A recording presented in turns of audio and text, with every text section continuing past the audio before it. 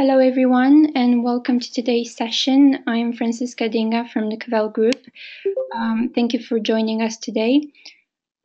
Uh, we'll begin in, in a minute. Uh, just wanted to let you know a couple of things. Um, we'll be recording this webinar, so if you wish to rewatch it at a later time or share with your colleagues, you will be able to do so, as we'll be sharing the link with you.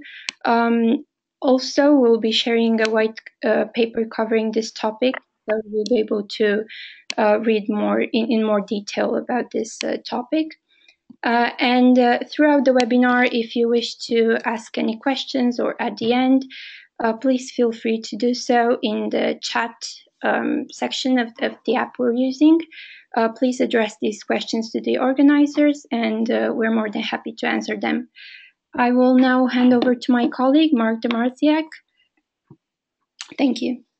Thanks, Francesca. So, um, hello everybody. This is Mark Demarsiak from the Cavell Group, and I'm happy to be here today and uh, presenting this webinar, um, Unified Communications as a Service, the business case for service providers, build, partner, or acquire. Uh, that's a really catchy title, isn't it? But I think it describes what we're going to be talking about.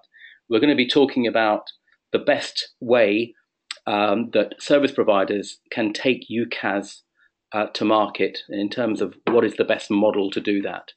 Um, I will be presenting for about um, maybe slightly longer than half an hour, and then I'll hand over to Richard Parker of PCCW Global, who will close off with uh, just um, uh, four or five slides um, talking about PCCW Global's offer. Um, as Francesca said, please uh, do uh, send us questions in the in the chat, and we'll be pleased to deal with them either either as we go along or we'll keep them till the end, uh, depending on, on the context. So let me just start by introducing very briefly the Cavell Group, for whom I work.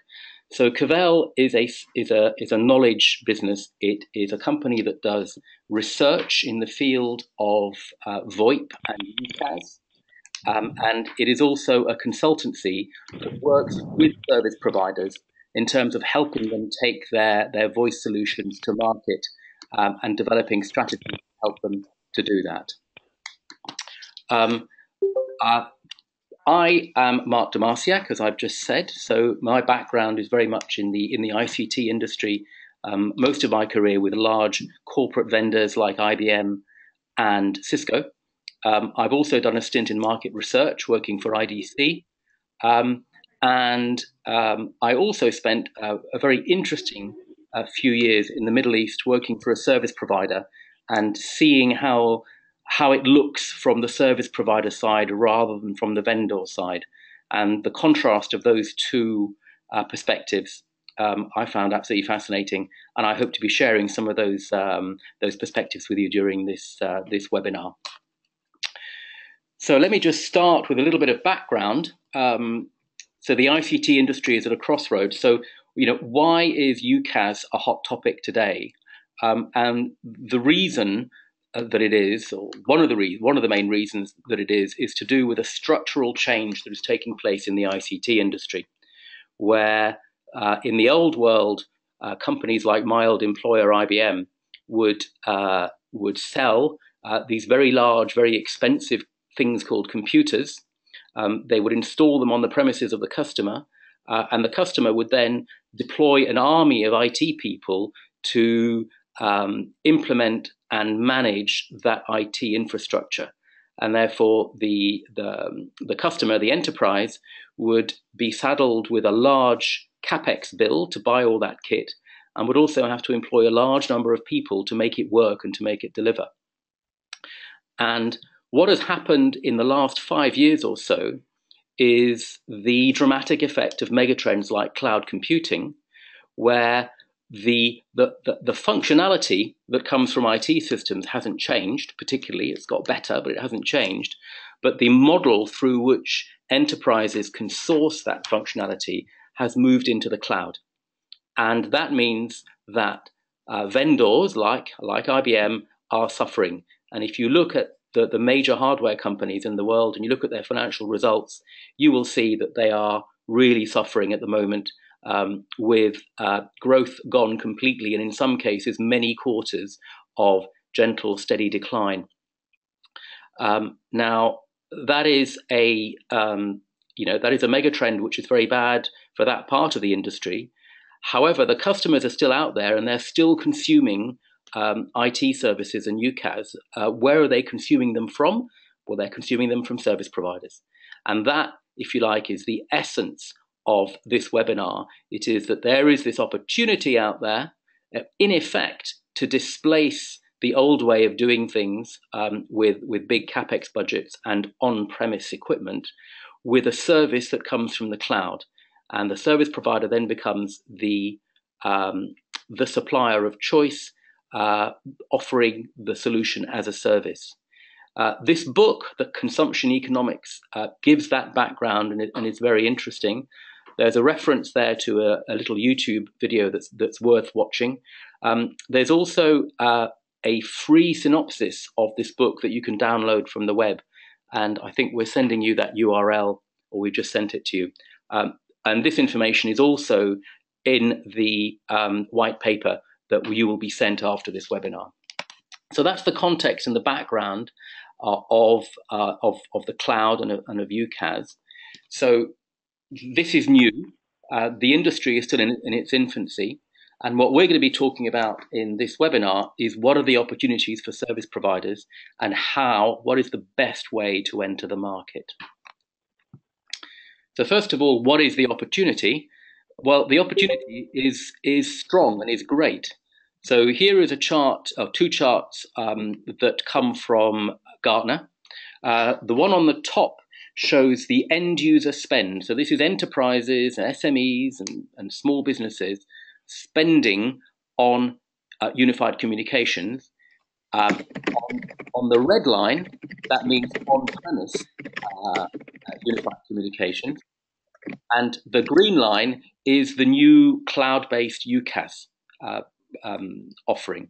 Uh, the blue line is actually uh, uh, something quite different. It's on-premise support.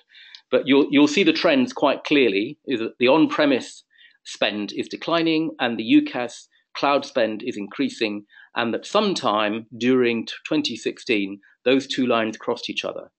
So that's the great news. Uh, it's not so great if you're a vendor, but it's pretty good if you're a service provider. Uh, the bottom line, um, frankly, is even better news because it shows that there are still a huge number of seats of unified communication users out there. So this is not spend, this is the number of, of seats. Uh, a huge number of on-premise PABX unified communications type systems. Um, and that is gently and slowly declining. Um, and that is history, if you like. That's the old world. Whereas the green line, the, the cloud UCaaS line, is growing. And what that means is that there's a huge amount of, of addressable opportunity for that green line and for service providers to sell UCaaS into this market. So 86% of UC seats are still on premise. And over the next few years, um, most of that is going to be replaced by, by, by cloud offerings. And so this is a large global market. Um, uh, it, it's global in terms of its reach in different parts of the world. And this is the spend on uh, on, UK, on uh, UCaaS. I'm sorry, the title on this this um, this chart is wrong. This is the spend on UCaaS, and you can see that it's large not just in North America, it's large in Europe, it's large in growth markets and it's large in Japan as well. So this is a an opportunity that is truly global and, and is not concentrated only on um, uh, uh, theatres that are more mature than others. So let's uh, uh drill down a little bit. I, we've picked Europe um, as a market that we know, we know well, but I think these um, these dynamics would also be applicable to other theatres across the world. So the the top chart there is showing the total number of, of cloud communication seats, so UCaaS seats, per country. And you can see that the UK and the Netherlands are the two largest countries. And that is simply because they are the, they are the most mature markets and they have the, the largest number of service providers active in this space. What we're expecting to see is that uh, simply because of the size of the economies of France and Germany, that there'll be rapid growth in those two countries as well. Uh, another thing to say about this chart is that whilst you can see that Netherlands is number two in terms of um, number of seats, which means that it must have very, very high penetration, even compared to the UK. If you look on the right hand side of that chart, you can see Belgium, uh, which is very, very small indeed. Now, the Netherlands and Belgium are neighboring countries. They are not exactly the same size, but they're not far away from each other. But what this is saying is that within um, theatres, within geographic theatres, even neighboring countries will have different dynamics to each other. Um, and that means that when you're addressing these markets, it's important to understand that you can't just make the same offer with the same value proposition, with the same go to market in different countries. You really need to know your market, um, your market well. Okay, so that was the, the size of the market. So we've just uh, talked about the fact that it's, it's a large market, um, it's, it's lowly penetrated, um, and the individual countries are have got different dynamics to each other. So, what does that mean for service providers, and how can you um, penetrate and access these markets? So, um, Cavell has done some analysis and has come up with three fundamental models. There are flavors of these, but the three fundamental um, models to enter these markets are A, or number one, to build and operate your own system, your own technology. Number two, to partner. And there are two flavors of partnering. You can partner with a technology vendor who has got off the shelf uh, equipment or, or, or, an offering, um, or you can partner with another service provider, a wholesale service provider um, that will allow you to resell their, their offering. And the third option is actually to acquire uh, another service provider who already has a UCaaS offering. And we will be examining these three options and identifying the criteria the, the, the, the pluses and the minuses um, for, for each of these three options, as well as the criteria that should help you to choose. And the reason we're doing this is, is, that we, what we're observing in the market is countries with different needs and dynamics, uh, but also um, service providers with different skills and capabilities. And therefore, it's important to make the right choice uh, to address this market, which is, uh, you know, a sophisticated we're talking about a sophisticated, complex technical solution with very specific um, um, go to market requirements that go beyond um, um, connectivity. So, what are the key criteria that will drive the choice? And I've, I've identified here um, five of the biggest ones. Um, to me, the, the largest one is time to market. Time to market is important because this is a, a, a market with a window of opportunity that needs to be addressed. Um, it's a market in which the um, uh, the uh, opportunities um, are, are there now, but the ability of service providers to take complex solutions to market, particularly if they're deciding, for instance, to build their own or acquire uh, another service provider, this can delay the go to market by months or even years. And um, that is um, a very um, kind of like it, it's a huge barrier to entry to the market. And so uh, it's important then to understand your capabilities, the service provider's capabilities, and the dynamics of the market to make the right choice there. Customer segmentation is important because different customers uh, will have different needs. So depending on the size of the customer, but also depending on their their industry, um, there are big differences there, and this is something we'll come back to near the end of this uh, webinar. Um, there are a lot of solutions out there, um, and therefore it's important to try and differentiate what you do. And differentiation uh, isn't necessarily about finding a, a, technology that is different. It might be about branding, it might be about support, it might be about how complete your offer is in, in terms of uh, things like OSS, BSS, and um, you know easy billing and those sorts of things. Uh, cost and margin is obviously going to be there, but the, the relative the relative um, costs of the three options, the three models I spoke about on the last slide, um, can can have a very large effect on the business case and the um, the P and L that you have when you when you're taking these solutions to market. And finally, um, uh, go to market skills uh, and resources. As I was intimating before, uh, UCaaS is a complex solution, it's a sophisticated solution that touches end users. it's not a uh, it's not uh, a piece of uh, of high tech connectivity that um, sits uh, you know uh, in the background humming and users aren't aware of it and, and, unless it goes wrong. It's not um, a solution that is sold to an IT organization. This is a solution that is sold to business end users, and they will typically uh, be budget holders in the business, not in IT, and they will typically be much more demanding than an IT department is. And so your go to market skills and support resources become very important. And ultimately, um, I think that, that those criteria need to be put into a, a pragmatic kind of framework. Uh, and by pragmatic, I mean the choice of build, partner, or acquire.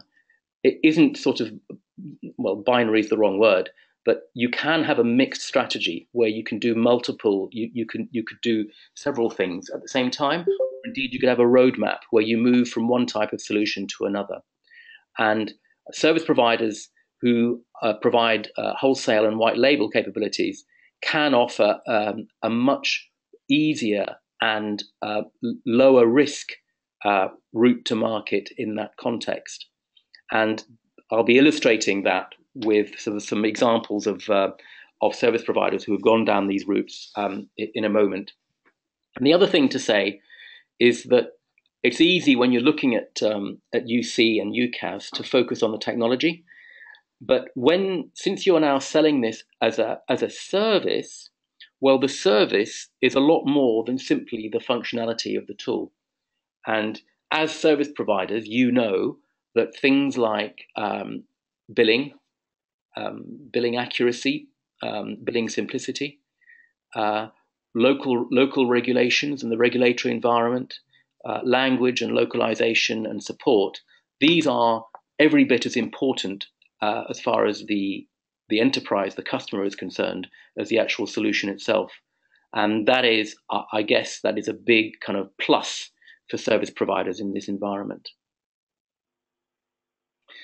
And how does all that come together? Well, I, think it comes together in, in, in, one word, which is strategy. Um, selecting and deploying a UCaaS solution for a service provider is not a, a, sort of small undertaking that sits alongside what it does. It really is quite central to how the company intends to develop, um, uh, how the, the service provider intends to develop, because what it what it's able to do when it's done properly is it'll take your existing customers and offer them uh, a much more value added service that, that, as I said before, touches end users. That makes the relationship between the enterprise and the service provider much more intimate th- than it was before and allows the service provider to, if you like, to have much more, uh, much longer term relationships with their clients who really don't want to move um, service provider every every time uh, you know that, that, that, a new offer comes along because their end users get used to uh, the UCaaS solution that they're using. Uh, that means that your internal skill pool becomes very important. Are you able to do this yourselves, or do you need to work with somebody else or acquire somebody else? Uh, your fiscal imperatives, your finance organizations will look very, very differently at an acquisition than they would do um, a partnership contract. Um, they will also, your senior management will look at the risk of uh, this kind of uh, venture and your ability to manage that risk. And the, the, the, final area there is something I'll come back to, which is that the, there is a, a growing trend to support multinational SMEs and enterprises. And that may take some service providers out of their comfort zone where they are used to dealing in one country with one set of regulations. And here they have customers who are actually asking to be supported in multiple multiple countries. Okay, so that is, if you like, the strategic view. Now let's um, spend a minute here looking at what other service providers have done um, in this in when making these choices. And you can see here the names of some pretty big and pretty uh, pretty chunky service providers um, in the market. So um, Verizon, for one, is a is a is, is a is an interesting one. In the US, uh, for their US uh, customers, they they have selected a, a BroadCloud solution, um, and they launched that successfully. with that experience and knowledge, when they decided to launch UCaaS outside of the US, well, they decided to build their own platform, build their own um, customized platform.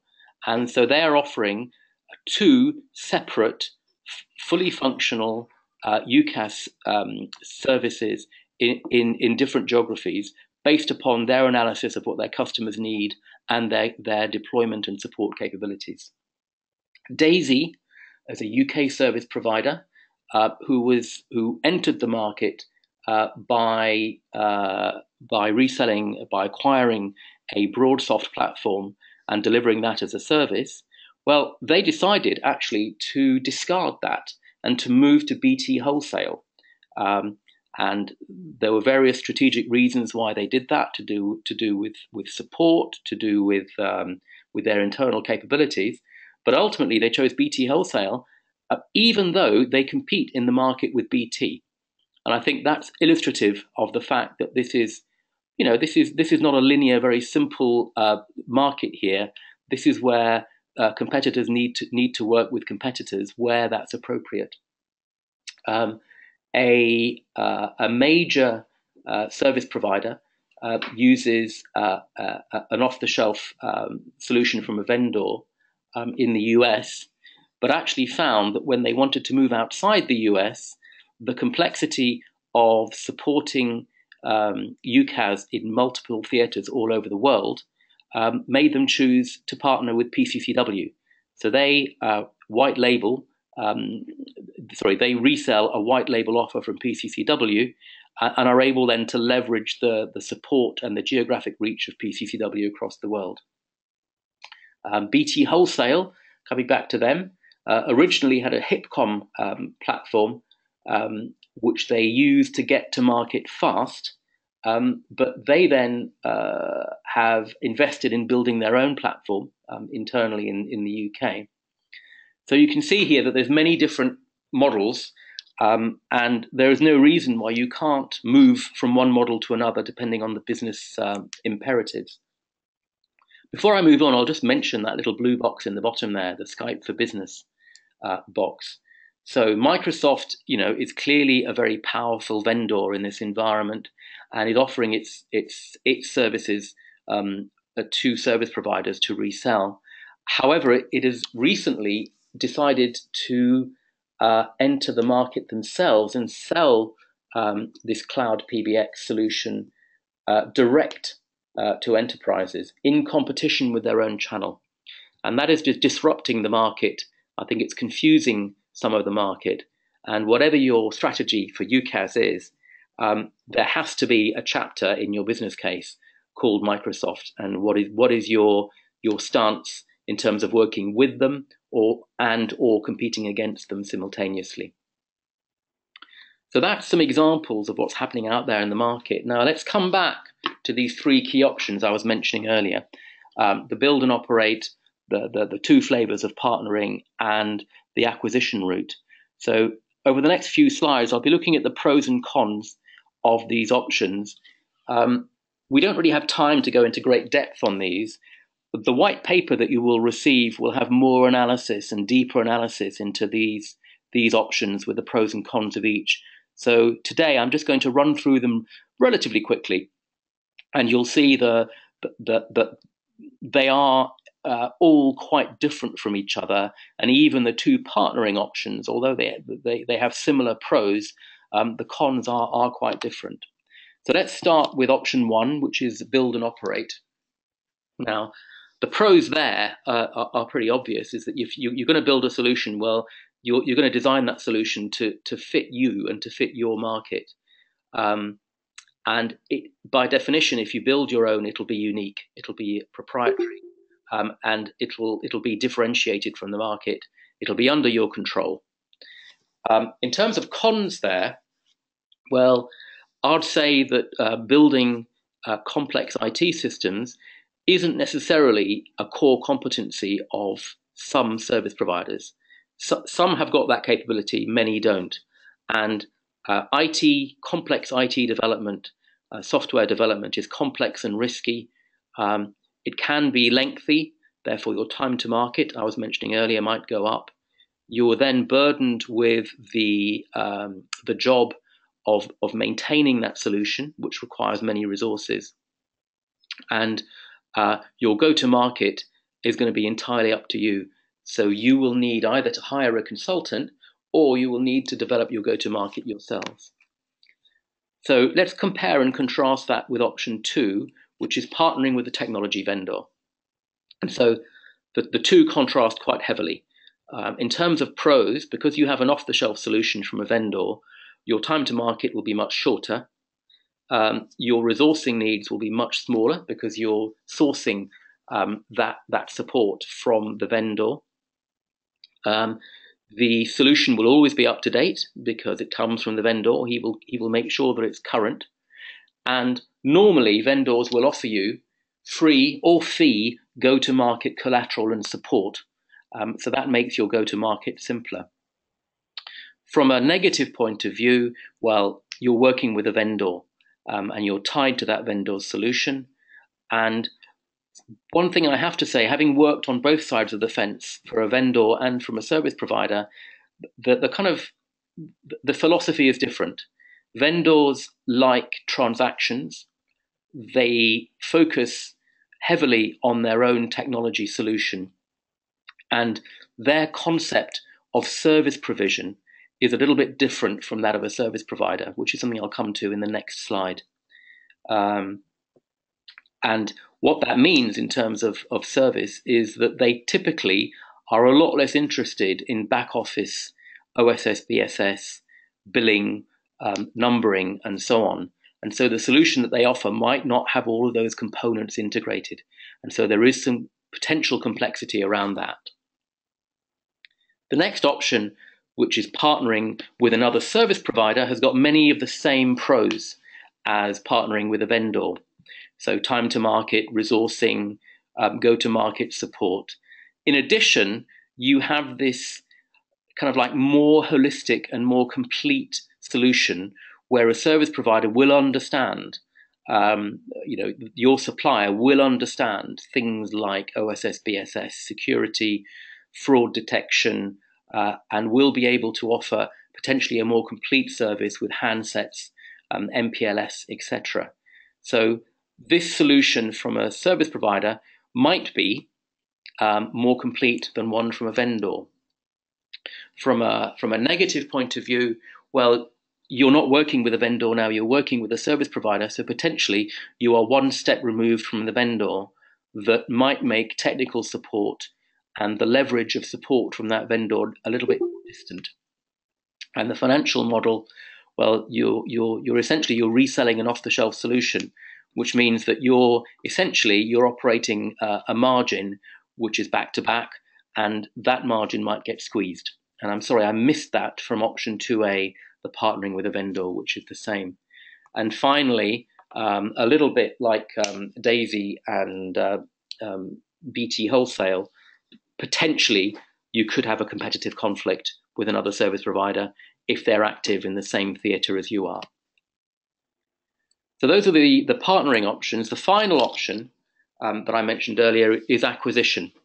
And acquisition is, is a little bit bipolar in that the pros are very pro and the cons are, are relatively con, put it that way. So the pros are that, well, you're acquiring um, a, a, business that is currently operating. It's got market presence, it's got customers, it's got an existing revenue stream, and therefore that is uh, kind of like a, a kind of seamless um, uh, value proposition where you're taking that all of those uh, benefits and you're extending them. However, um, I don't know if any of you have been involved in merger and acquisition activity, but it is um, I, don't know what the the right adjective is. I think painful might be the one that I would use, having been involved myself.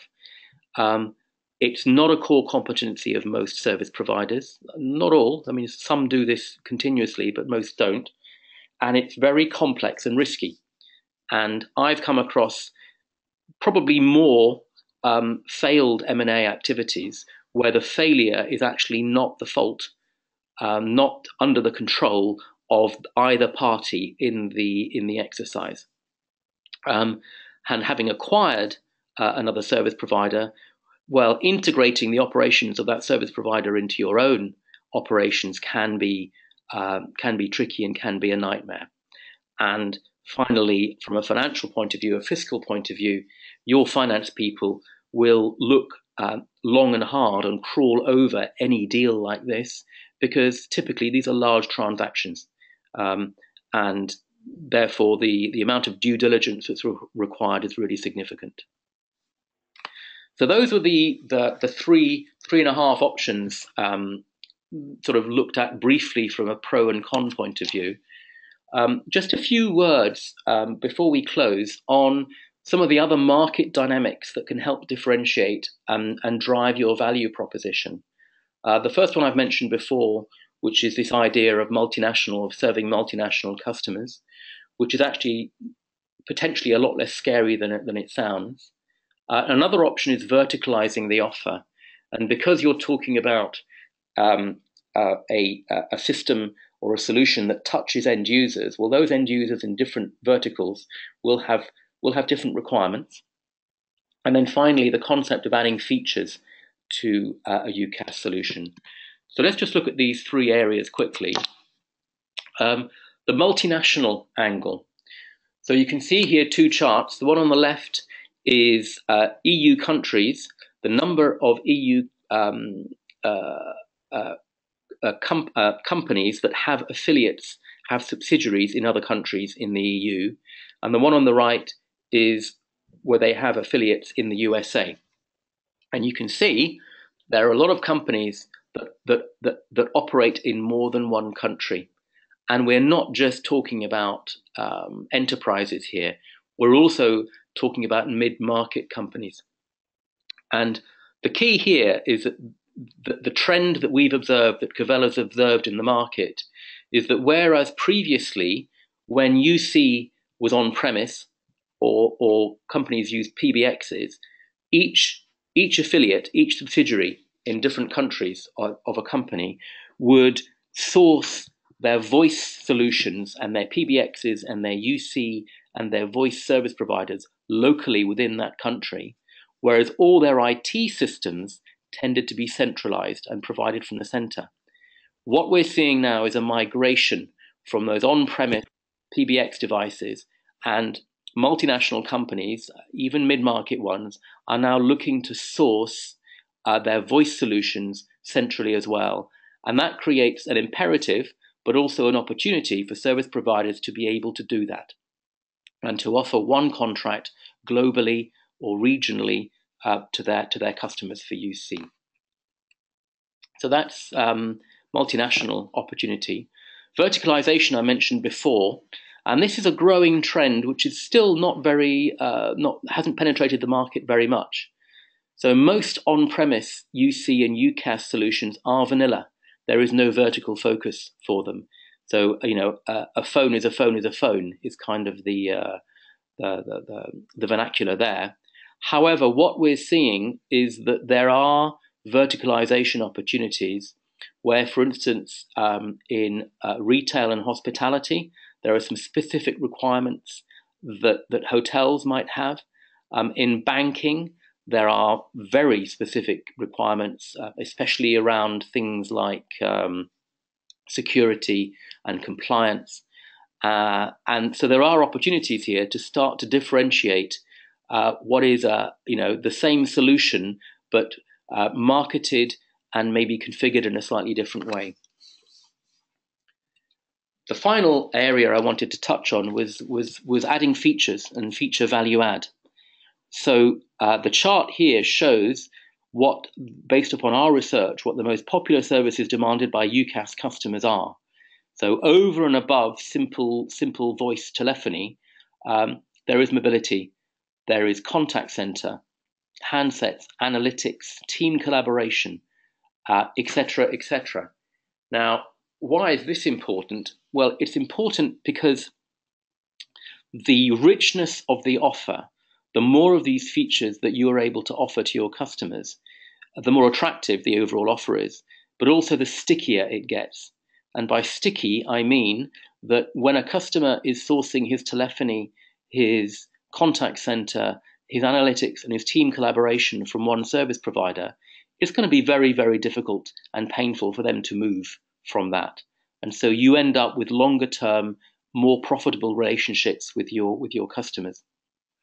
And we are now getting um, inquiries from service providers around who they should be partnering with to offer these kinds of services or what kind of solutions they should be acquiring to add richness to their to their voice switch.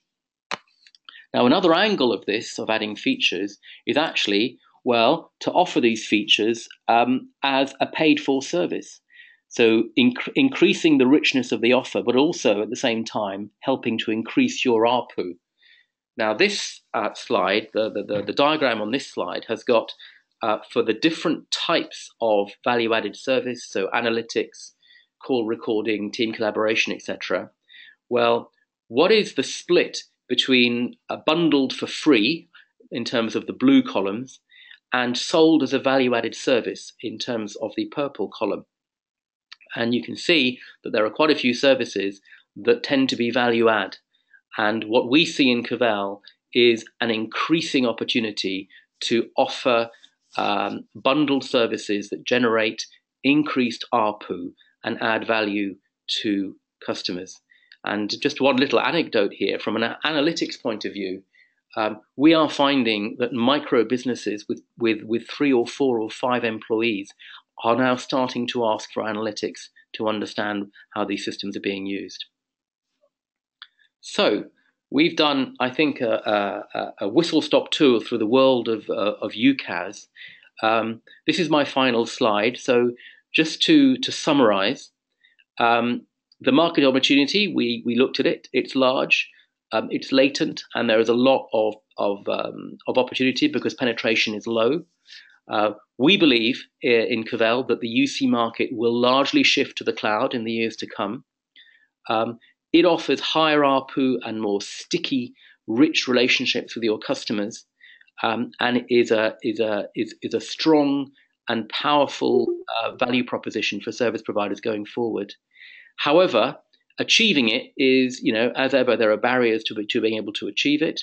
Technical and go-to-market risk and complexity. Uh, the demands of customer support, because you're now talking to end users, you're not talking to IT departments. And that makes the imperative of choosing the right operating model um, really, really critical. So going it alone, building your own, uh, partnering with a, a, vendor or a service provider, or indeed finally acquiring uh, a, uh, a, service provider who already has a UCaaS solution. So uh, everything that I've said is going to be expanded on in the white paper that you're going to be sent. Um, what I'll do now is I'll hand over to uh, Richard, who is going to take us through the few slides on um, uh, Global's um, solution. Okay, thanks a lot, Mark. Can you hear me okay? Yep. Okay, perfect. Okay, thanks for that. So, hi everybody. Uh, thanks for, for joining today. Um, so, I'm Richard Parker. I head up the business development activities within PCCW Global for Unified Communications and Collaboration. And just to give you a, a very quick overview of PCCW Global, for those of you who don't know us, uh, we are uh, one of the top 10 network providers, IP network providers in the world. Uh, all of that is based upon a, bunch of, of, different carrier partner relationships. So basically, the, the, foundation of what we do is a, a global relationships business. Uh, we have presence in 140 countries, and we have one of the top 10 IP networks globally, as I mentioned, and we've attached three UCaaS platforms to that IP network one in North America, one in Europe, and one in Asia Pacific. So we're very much in the 2B uh, type of offering that Mark uh, spoke about earlier on. So we're the service provider model offering unified communications as a service across that infrastructure. So what we're seeing today is enterprises are looking for a single provider globally, very much in the way that IT systems have been rolled out globally across a single organization uh, from a central point of control. We're now starting to see that type of behavior in the unified communications, the collaboration type uh, products that and solutions that enterprises are, are looking to, to purchase at the moment. Basically, looking for one single relationship, sort of one easy point of contact. As well, they're looking for that consistent experience wherever they're accessing uh, and through whichever means of accessing the service. So basically, what we do is facilitate a global offer for unified communications, allowing our resellers, our global partners, to capture revenue uh, for a worldwide service, whether that's in a, a, new market that you wish to enter as a, a wholesale white label type reseller, or whether that's uh, a an offer to customers in your home market who require service in other countries. So, what's driving this behavior? So, UCaaS is currently experiencing growth throughout the, the various business segments. Uh, what we're seeing is the the fastest growth in the, the mid-range um, segment. So the the medium-sized businesses where we're starting to see more and more multinationals uh, adopting cloud-based telephony, cloud-based communication systems. With that, with that medium-sized business comes more multinationals, as I said, and the need to serve those globally is becoming more and more prevalent in order to fully compete in that segment of the market. So that isn't an easy thing to do. Um, we, as I said, are a global service provider. We are, are, a company that has hundreds of different carrier partners. And I would be lying if I said that rolling out and expanding these services globally is a, simple task. It's not, not by any means. Uh, there's a, a lot of different moving parts to one of these services. Um, and one of the main barriers, obviously, to this type of service is regulatory side of things. So all of your numbers, your portability, the different regulatory compliance elements that change from country to country, from region to region, uh, customer data, things like that. All of those things need to be deployed on a, a market by market basis. So, and, and that's before you even get into considerations around local knowledge and cultural differences and, and having the capability to support these customers uh, locally uh, in their in their service. So basically, we've got our our three different options as as Mark mentioned. And so we just go on to the next slide. We see we've got the, the possibility to build by our partner, uh, as Mark ran you through already, so I won't labour the point. Um, but basically, we've got two high risk and high cost options, which give you total control and flexibility of what you want to take out to market. However, it's very, very slow to enter market by market. Um, there's again the high risk and high cost element of rolling out a platform in the market, ensuring that it's resourced properly to, to support and maintain the service. Um, or we have the option, which is the one that we're offering, which is to partner and go to market much more quickly. Uh, and to be able to just have a single relationship to, to take out that global offer. So, relationship, you can grow as we expand our offer. Um, and within ship, you get all of the, the things that come with uh, a single single service, which is single customer experience, a turnkey set of tools and capabilities that allow you to take out a service that is is um, consistent across the world. So whether it be um, in Asia, Europe, the Americas, Africa, we can manage all the different currencies, the languages, the localization. But most of all, we provide all of that to our reseller partners to be able to monetize and sell very, very quickly in each of those new markets.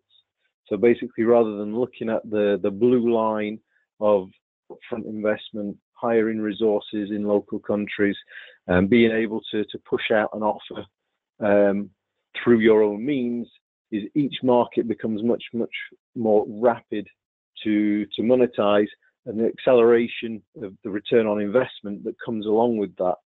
Um, the de-risking uh, of rolling out to each market. Basically, you almost have the option to just try out a new market with minimal upfront investment, minimal risk, um, and you can get rapidly uh, profitable services in markets that, that you require.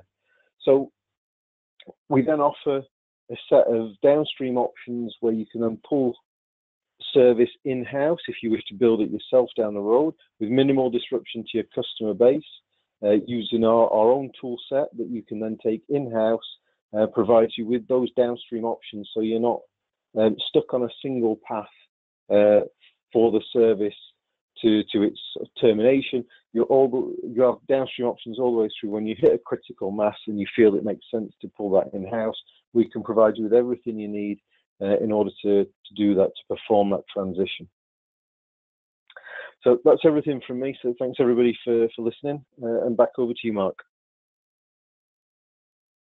Great. Thanks very much, Richard. Uh, we're getting a couple of questions in here. Um, one question is actually related to this chart, Richard, which is the the timeline. So um, I, I, know it's uh, it's a difficult thing to, to be able to say, but what is the kind of um, of length of that time between contracting with PCCW and being able to go live with a, with a service? Okay, thanks, Mark. Um, so I guess it partly depends on on where we are in, in the relationship. So so if we we're talking about a, a full white label reseller type um, or arrangement, then we're probably talking about two to three months from from contract signature to um, to fully um, uh, gather requirements to be able to to configure, take that service out, test it, set up all the connectivity between um, our platform and the local networks. So yeah, two two to three months, I think, for that initial connectivity testing. But then once that is in place, being able to roll out new markets is is much more rapid. Uh, so a, a, new market that we have um, or service already in is a matter of, of one to two weeks. Um, and we, have even managed to, to provide service in a, a new market where in, in, Africa where we didn't initially have service. Um, in a matter of, of, I think it was less than a month, we managed to do it in. So, so it can be very, very quick. Um, partly depends on, on which markets we're talking about, but if it's markets where we already have service, we can uh, expand offers within a, a week or two. Okay, thanks, Richard. Um, we're getting a, a, couple of other questions. There was a question about the, the Gartner research, which was showing 18% growth. Um, and I, uh, I think there's probably a typo in the slide because we, we've gone back to the, uh, the Gartner data and it is growth between 18 and 20%. So I must have made a typo in that, in that slide. Um, Skype for Business is another question, um, which is about uh, whether Microsoft was defocusing and focusing on Teams. Um, uh, absolutely right. So Teams is the new brand name that they are adopting. Um, we uh, in Cavell, we're actually um, it's it's the one vendor that is very very difficult to read and to understand exactly where they're going with this solution. Um, what they seem to be doing seems to be illogical at the moment in terms of creating this channel conflict.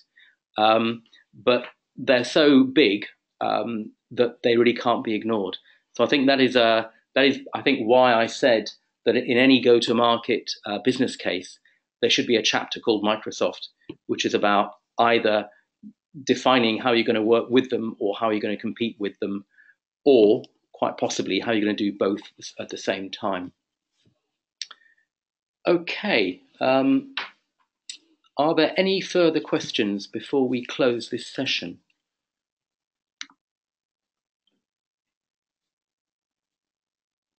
Uh, Right. So I'll I'll I'll take that as a no. So I'd like to thank you all very much uh, for joining us uh, today on this uh, on this call on this webinar. I hope you found it um, interesting. Um, as I said before, you're going to be receiving the white paper, which is the narrative version of the presentation that we've um, that we've given you today, uh, which has got more information and has got those references to that that book uh, about the disruption of the industry that I mentioned. So, with that, I would like to say thank you very much and um, have a good day. Goodbye. Thank you. Goodbye.